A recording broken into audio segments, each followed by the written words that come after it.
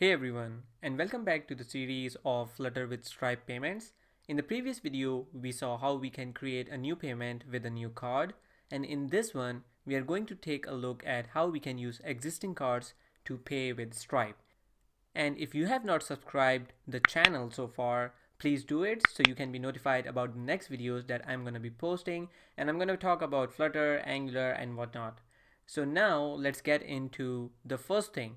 So we saw in the previous video that if we go here and let's say pay via new card, this pops up and if we click cancel, we see a message which is not so user friendly. So we actually can capture this platform exception and we can show a user friendly message instead of this. So let's see how we can do that.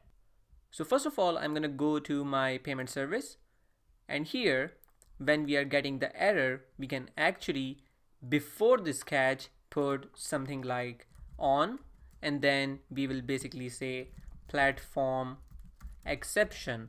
Now when we do this we also have to provide a catch and here we will have error and then here we can basically put the condition that we want here. So we are actually going to use this at multiple places. So what I'm going to do is that I can simply say return and then we can name a function here. For instance, we can say get platform exception error result. And here we can pass the error. Now we'll go below and then we will basically create this function. And obviously this is going to be something like stripe service dot because this function will be a static function as well. So if I go here I can say static and then this function. And then this will basically receive an error. So I can simply say error. And here I can place the logic. So there could be multiple platform error messages. So we can take a string and we'll name it message. And here we can provide a default message like something went wrong. And then we are going to check the error code. So we can say if error.code equals cancelled. So this is what actually is received when we go here and then cancel the UI for the car. So in this case, the message will be transaction cancelled. And that's enough. Now we will finally return the new Stripe transaction response with the error. So we can simply say Stripe transaction response and here we can return the message and we can provide success false. So now that we have got this, this should actually be working. So I'm going to save this and now we'll try it out. Alright, so now if I go here and click this and if I click cancel, you can see that it just says transaction cancelled and that is because it actually fell into this condition that we put here. So now this has been taken care of and now we have to talk about how we can use the existing cards to pay via Stripe. So what we can do is that we can go to pages and then existing cards and here we already had the function which we called on tap. So you can see that here we have the inkwell and then we are using pay via existing card. And here we have all of this happening here. So instead of 150 I'm just gonna basically put 2500 here. So this will be 25 US dollars. And below what I'm gonna do is that I'm going to pass the card. So first of all let's go here and then we will basically change the definition of the card here so this card will be actually credit card and this is something that we get out of the Stripe Payments SDK. So you can see that this is coming from the Stripe payment package. Now, if we go here, we have to actually create this card. So what we can do here is that we can say credit card and then we will basically call it Stripe card and I'm going to import the package here and now we can basically construct this card. So what we need for this card is to basically say credit card and here we have to provide a bunch of things. First of all, we have to provide the number of the card and this can be simple as card.number because this card actually has a number which is card number. So what we can do here is that instead of card.number, we can say card number and now we have to provide two more things which are required by the payment SDK. So we have to provide the expiry month and we also have to provide the expiry year. So these are the two things that we need to provide. So you can see that we already have this expiry date here, but we don't have expiry month and year separated from this. So what we can do is that we can basically use this string and split it so we can get these values out separately. So for that, what we can do is that we can say int dot parse. So we are going to parse this string, but before parsing, we will basically split it. So we can say card, and here we will say expiry date. So this is the string that we need to parse, but what we will do is that we will split it and then we'll split it by slash so this will be the separator for this split and then we will basically get an array of two elements. At the zero index we will have this and at one index we will have this. So first of all what we can do is that we can simply say zero but instead of duplicating the code I can just have this once. So what I can do here is that I can simply say var expiry array equals this. So I'm just gonna remove this and then we can simply use expiry array here and then I'm gonna do the same for the year as well. So now that we have set this value, we need to provide this card instead of this card.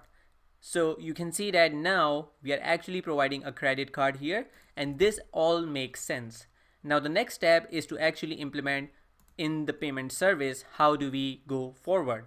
So if I go down, this is the method that we have to use. So we are getting the card, we are getting the amount and currency. So first of all, we need to create the payment method. And actually, I'm just gonna copy paste all of this code so we don't have to repeat everything. So I'm just gonna copy paste this. And now what we have to do is that we also have to make this an async function. Now let's talk about how do we create this payment method. Also, this will be a future instead. Now, this payment method will basically be an existing cards payment method. So for that, we have already a function. So instead of this, what we can do is that we can use create payment method. And in here, we have to provide a payment method request. So we'll say payment method request. And this request can have the token or the card. So we are actually going to provide the card here. So we can say card, card, and now this is all good. So we are creating the payment method first, then we are creating the payment intent, and also after that we are confirming the payment intent with the payment method ID and the client secret that we got from the payment intent. So the rest of the step is actually very simple and it's all the same. In the pay with new card, we were creating a new card from the card form payment request. But in here, we are using an existing card for creating the payment method. So now that we have done this, let's refresh and see if this works. Alright, so we are getting some errors. Let's see what's wrong. So you can see that we have this red here. So I'm going to go here and you can see that this is basically saying response.success and that is because we are not doing an await here. So let's use await here and we also have to make this an async function. Now let's just save this and try this out. Alright, so before I try this pay by existing card, I actually checked that one of the cards that I have is not valid, which is this one. So let's go to the testing data and copy some card from there. So I am right now at the testing page and I'm going to scroll down and I'm just going to copy this first MasterCard and then we are just going to replace this in the code. So in the code, I'm going to go above and just replace this and now we can basically use this. So I'm going to refresh. And now if I go to pay via existing card and then if I select this one, you can see that we get this transaction successful message and then this pops out to the home page. Now let's go and see if the transaction was successful. So I am on my dashboard right now and you can see that the time is 2318 and right now the time is 2319. So this is the transaction that we just did and if I open it you will see that it was done via a payment method having a MasterCard and this is the last four digits. So you can see that this was successful. Awesome, so now you can see that we are able to pay via a new card and also via an existing card. But the UX right now is not really amazing because if I click this, you can see that I have to wait a lot and then it shows me the message once the transaction is successful. Now this is not a really good user experience. So what I'm going to do is that I'm going to show a loader while the transaction is in process and for that I'm going to use an external package. So the package that I'm going to use is called progress dialog and if I scroll down this is how it looks. So we can actually provide a custom message to it and then we can basically add this to the dependencies and then use it. So I'm just going to copy this. In fact, I'm going to go to installing and then I'm going to copy the latest version from here. And now in the code, I'm going to go to pubspec.yaml and I'm just going to paste this here. Now I'm right now not sure if this is going to show a native dialog or not, but if that's the case, then we have to basically restart the Flutter run via the simulator. Alright, so now I'm running the app with the package and what I can do now is that I can basically import the package up top. So I'm basically going to import it here. And now we can basically add this to this logic of paying by existing card. So before anything happens, what we can do is that we can create a progress dialog and then we can say here progress dialog and here we can provide the context. Now that we have created it, we need to provide a custom message to it. And the way we do that is that we can say dialog.style and here we can basically pass some value. So we can say message and here we can say please wait. Now the next thing is to actually show it. So we can say await dialog.show. Now this will start showing the dialog from the beginning of the transaction and now we have to hide it once everything is done. So we can go here and before we show the snack bar we can simply say await dialog dot hide. Now this is being done for the existing card so I'm just going to save this and reload it and then we'll test it out. Awesome. So I can go now here and select an existing card and for instance, if I select the first one, you can see this loader coming up. And then once the transaction is done, you can see that it was hidden. The snack bar was shown and then we got back to the first page. Now this is done for the existing cards. We have to do the same for the new card logic. So I can just copy paste this one really quick. And then I'm gonna go to the home page. And here, what we can do is that we can create a function pay via new card and here we are going to make this async we are going to paste this here we are also going to import the package. So I'm just going to copy it from the existing cards page.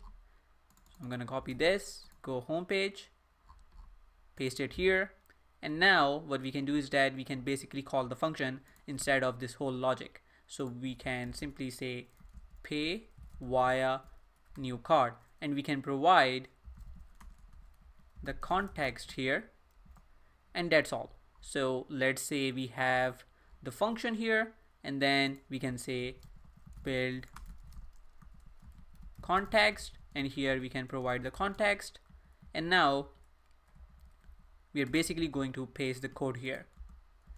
So we have 150 USD here. And then we are also showing the dialog. And once we are done we can simply say await dialog dot hide. Now that we have set this, let's try it out. Cool, so now if I click pay via new card, I can fill the value. And now if I hit done, you can see that we have this dialog here and we are waiting. And now the dialog was hidden and we saw the successful message. So now we have a really good UI. We also have a really good user experience for the user. So the user can see a loader while the transaction is happening and if something goes wrong the user can then see the message as well so let's see what happens if something goes wrong. So I'm gonna go to existing cards and here I'm just gonna change some particular number. So instead of 55 we could say 66 and then let's save this and try this out. Cool. So now I can go to pay via existing card. I'm gonna select this one. We got the loader and now you can see something went wrong. So the whole process is actually really good. We see the loader, we wait, and then the loader is hidden, and then we see the snack bar. So I actually hope that you learned a lot of good techniques in these three video series and you learned how to easily integrate Stripe payments in a Flutter application. So if you like my video, do share, do subscribe to the channel and follow me for more videos. Thank you.